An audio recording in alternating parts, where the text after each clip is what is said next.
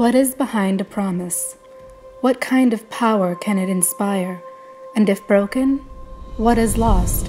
We all work towards different goals, have different motivations, abilities, backgrounds, experiences that make us beautiful, but we all want the same things safety, security, success.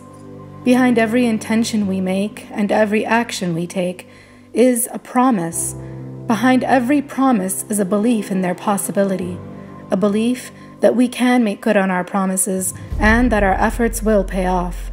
God promises us that with every difficulty, there is ease, that with faith, trust, and action, anything is possible. This is what we believe.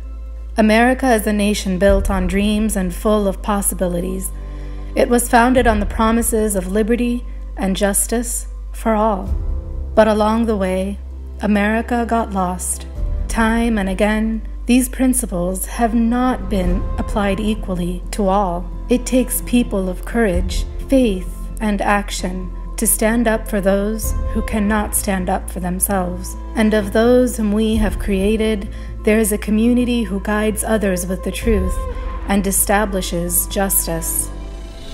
We believe that together we can fix what is broken and prevent more hopes, dreams, and trust from being lost because America is a land of dreams, of possibility, of equality and justice for all. This is the America we are fighting for, a mission we are entrusted with, and a promise we vow to uphold. The power to fulfill a promise is the power to inspire communities today and for generations to come. This Ramadan, we can make a difference together from the safety of our homes and through the unison of our efforts. Join us in fulfilling promises and upholding an America for all.